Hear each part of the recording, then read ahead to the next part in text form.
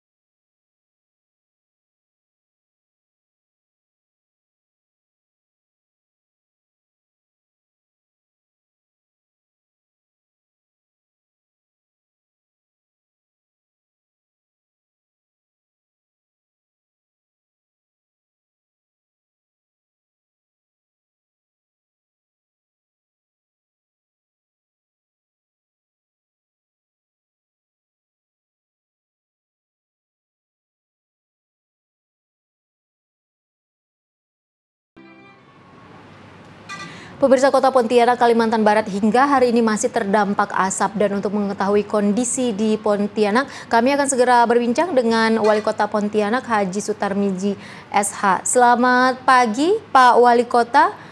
Pagi Mbak Ipon. Ya, Pak Wali Kota bagaimana kondisi hari ini di Kota Pontianak? Apakah asap masih pekat di sana?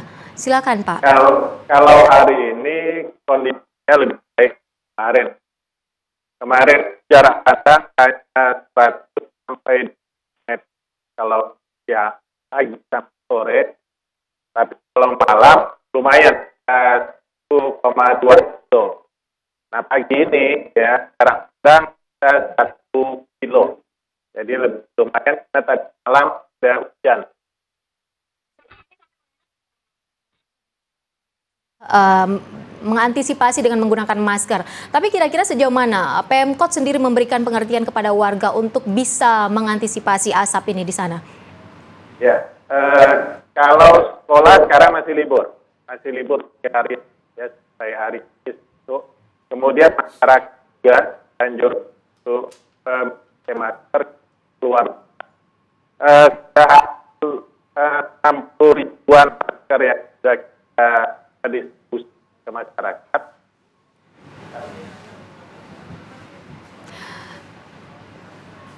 Maaf Pak Wali Kota, sepertinya uh, sambungan komunikasi atau koneksi sambungan telepon kita kurang atau kurang bagus. Nanti kami akan mencoba kembali menghubungi Pak Wali Kota Pontianak, uh, Pak Sutarmizi.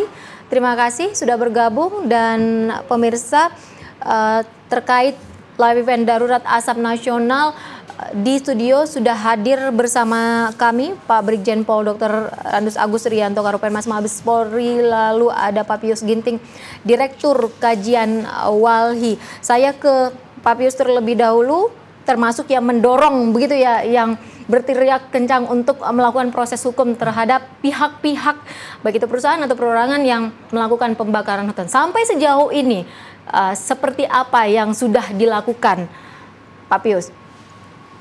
Kita melihat masih kurang tindakan tegas ataupun penegakan hukum yang dilakukan oleh pemerintah. Ini belum beranjak lebih baik dari tahun sebelumnya. Hingga saat ini baru empat perusahaan yang dibukukan operasinya dan dua itu berada di Riau. Jadi kita khawatir ini hanya showcase ya ketika kasus ini menjadi perhatian publik uh, secara luas. Kita mengharapkan pemerintah yang telah merilis ada 159 perusahaan di mana di wilayah areal mereka itu ada kebakaran, ini semua segera sekali untuk ditindak secara hukum agar kemudian uh, ada efek jerah dan juga ada denda yang besar dan denda dana yang besar ini dipakai oleh negara untuk melakukan pemulihan dan juga pengobatan buat masyarakat yang telah terdampak mulai dari Riau hingga Kalimantan Tengah. Oke, Pak Pius mengatakan bahwa apa yang dilakukan pemerintah saat ini belum maksimal, begitu ya, untuk penegakan hukum kepada para pelaku atau pihak yang melakukan pembakaran hutan. Di bagian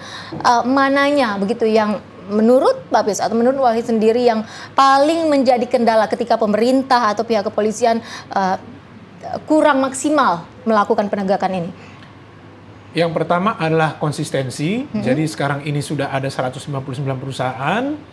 Kita khawatir ini tidak akan semua akan diproses secara hukum. Belajar dari pengalaman-pengalaman tahun sebelumnya yang ditindak oleh polisi jumlahnya itu di bawah dari uh, 10 perusahaan ya tahun 2014. Padahal tahun 2014 juga asap terjadi begitu. Jadi uh, jumlah ini kita khawatirkan akan menciut seiring dengan nanti menurunnya perhatian masyarakat terhadap kasus asap ini. Angka 159, Walhi melihat ada indikasi bahwa jumlah ini nanti akan menciut, tapi ada kemungkinan bahwa sebenarnya pelaku yang eh, melakukan pembakaran hutan ini jauh di atas itu sebenarnya jumlahnya, jauh di atas itu angkanya.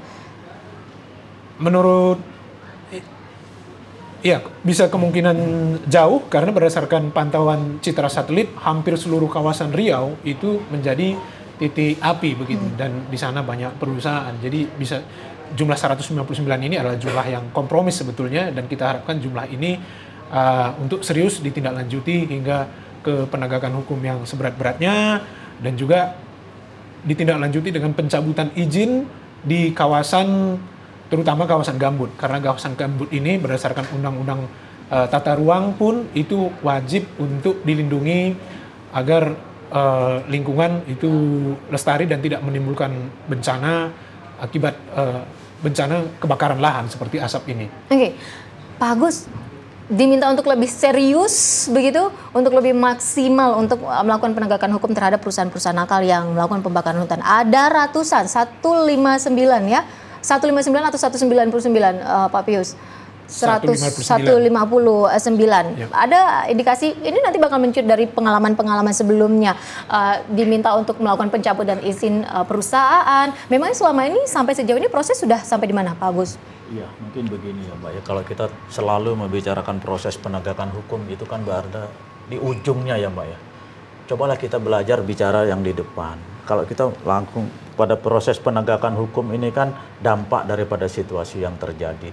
Nah, di depan inilah yang peran kita semua, ya kan? Masyarakat, pemilik lahan, perusahaan, termasuk kami juga dari aparat kepolisian teman-teman yang di depan, Binmas, intelijen untuk memberikan uh, uh, informasi, kemudian juga teman-teman kami untuk patroli, termasuk juga saudara-saudara kami dari Walhi ini, hmm. kita sama-sama bertanggung jawab di depannya. Kalau sudah sampai kepada proses penegakan hukum tentunya selain polisi ada juga teman-teman dari PPNS eh, lingkungan hidup. Yang dilakukan oleh Polri sampai dengan saat ini kita sedang memproses sebanyak 219 eh, kejadian, 219 kasus hmm. yang ditangani oleh Polri. Nah, yang sekarang diproses sidik itu 177 melibatkan perorangan dan 42 itu korporasi.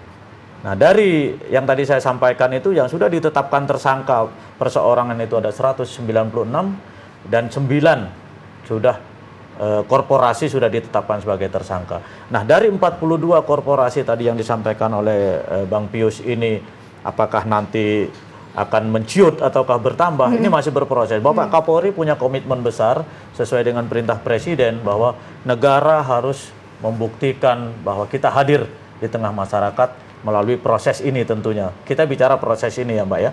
Nah, selain kita proses penegakan hukum dari daerah melakukan eh, tindakan-tindakan, Mabes Polri juga mengirim perkuatan personel penyidik. Ini untuk membuktikan komitmen kita. Nah, kalau bicara sekarang belum serius, ya karena ini berproses. Masih ada beberapa kasus lagi yang sedang kita tangani. Kita lihat saja perkembangan. Kita berharap juga teman-teman dari Walhi, kemudian seluruh masyarakat melihat pelaksanaan tugas yang sedang kita lakukan. Oke. Polri merupakan bagian dari pemerintah dan kita komitmen untuk itu. Baik, artinya jangan langsung melihat hasilnya karena ini sekarang sedang dalam proses begitu ya Proses, Pak Agus. Ya. Kita Apa terima sih- kasih koreksinya. Apa sih yang paling menjadi kendala ketika pihak kepolisian melakukan proses penegakan hukum ini? Ah, Sulitkah mencari informasi atau bagaimana? Ya, antara lain seperti itu, Mbak. Yang kedua, tentunya tadi dikatakan oleh Bang Pius bahwa sekian titik eh, api ya, Bang ya. Titik api. Nah, untuk kita bisa menjangkau titik api tidak seperti yang kita lihat melalui satelit NOAA ataupun Terra itu. Oh, di sini titik api, di titik koordinat sekian. Begitu kita menjangkau titik api itu jarak tempuhnya seperti apa, menuju lokasinya seperti apa, dan itu juga tidak semudah mungkin misalnya kita gunakan juga eh, pesawat atau heli untuk menuju itu juga tidak semudah itu. Jadi perlu waktu. Semuanya perlu proses. Tapi bagaimanapun peralatan-peralatan yang ada kami jadikan bahan masukan, bahan informasi untuk kita bisa menuju lokasi lebih cepat sehingga kita melaksanakan tugas itu tidak eh, ke sana kemari sudah ada arahnya. Itu tetap menjadi patokan kita, tetap menjadi panduan kita untuk melaksanakan tugas. Tapi yang pasti selain informasi yang minim yang kita terima, yang kita peroleh menuju lokasi juga itu tidak eh, begitu mudah itu Mbak Ivon. Oke, dari 219 kasus yang sekarang ini ditangani ya, Ya, Pak betul, Agus, betul, 177-nya perorangan, 42 korporasi. Lalu masih banyak untuk korporasi baru 9 Sembilan. yang uh, Menjadi sudah tersangka. menjadi tersangka. Berarti Ya. sisanya, Pak Agus? masih dalam proses Hmm, penyidikan. Makanya tadi saya katakan ini berproses. Ya Bapak Kapolri untuk mempercepat penanganan kasus ini sudah mengirimkan tim tambahan ke daerah-daerah yang tadi eh, kita lakukan penyidikan di tujuh provinsi yang ada di eh, kita lakukan proses sekarang. Di Kalimantan seluruhnya termasuk kampung halaman saya itu yang tadi Pak Wali Kotanya had, eh, se- dengan kita. Kemudian di tiga provinsi di Sumatera yaitu di Jambi, Palembang, eh, Sumatera Selatan maksud saya dan juga di Provinsi Riau. Oke, Pak dari pihak kepolisian Pak Pius punya em, data 42 korporasi yang baru menjadi tersangka 9 korporasi. Selebihnya masih dalam proses. Sementara untuk kasus perorangan yang menjadi tersangka 196 ya benar. 100 177. 177 Yang perorangan yang ya. sudah menjadi tersangka adalah 196. 196. Adakah data yang juga akhirnya dikirimkan oleh eh, Walhi ke pihak kepolisian untuk diusut, Pak Pius? Ya, eh, kami berbeda pendapat dengan Polri bahwa kita memiliki keterbatasan informasi. Jadi ini semua kejadiannya adalah di permukaan tanah.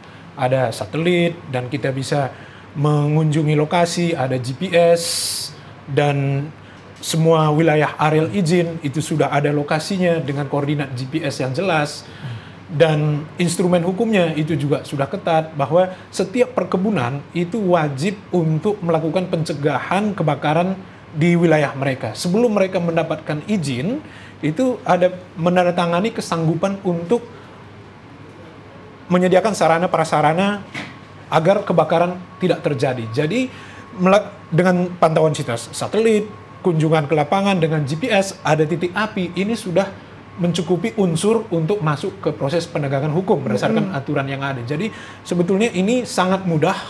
Beda misalnya ada kejadian lumpur lapindo misalnya masih ada perdebatan karena ini di bawah tanah. Ini dalam kasus tersebut. Kalau ini semua di atas permukaan sehingga lebih mudah sebetulnya dan tinggal ke komitmen atau keseriusan dari pemerintah dan pihak kepolisian untuk melakukan penegakan hukum. Gitu. Oke, dari pihak Walhi menuntut komitmen sementara dari pihak kepolisian dan pemerintah sebenarnya sudah bekerja maksimal. Cuma sekarang ini masih dalam proses. Jangan, di- jangan dilihat ujungnya karena kita harus lihat dari depannya dulu. Kita ngobrol lagi nanti Pak Pius dan juga Pak Agus di segmen berikutnya live event Darurat Asap Nasional akan hadir kembali sesaat lagi.